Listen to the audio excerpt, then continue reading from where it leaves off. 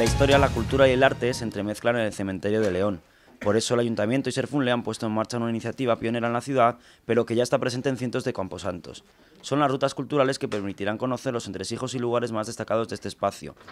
Serán rutas que se organizarán del 18 al 21 de octubre a partir de las 7 de la tarde, por lo que habrá un ambiente nocturno muy acorde con esta propuesta.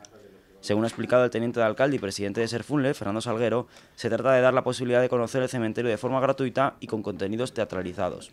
Pues es un lugar eh, al que todos vamos de una manera o de otra, pero que esté presente en una faceta diferente, en una faceta de un conocimiento de otras realidades que el cementerio contempla y que en muchísimas ocasiones, por las circunstancias en las que asistimos a estas instalaciones, pues quizá no nos deje nuestro raciocinio, nuestra conciencia, nuestro pensamiento observar. La responsable del cementerio, Silvia Fernández, ha especificado que es una iniciativa que surge a partir de la Asociación Nacional de Entidades y Empresas Municipales de Servicios Funerarios y de Cementerios.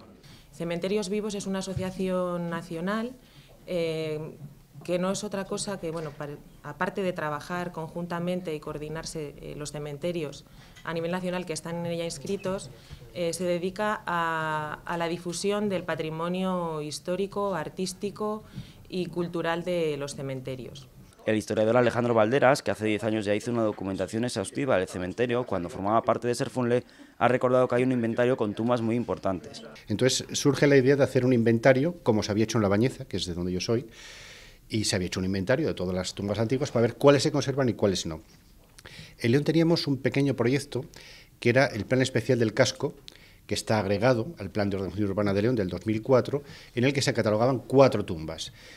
A mí me pareció que cuatro eran muy pocas. Entonces eh, hice una propuesta, la propuesta la recibió Carlos, que era entonces el gerente, y Hurtado, que era el secretario, y bueno, pues intentamos buscar qué se podía hacer. Los interesados en formar parte de esta ruta se pueden apuntar en la web de serfunle.com o en el teléfono 987 80 80 59.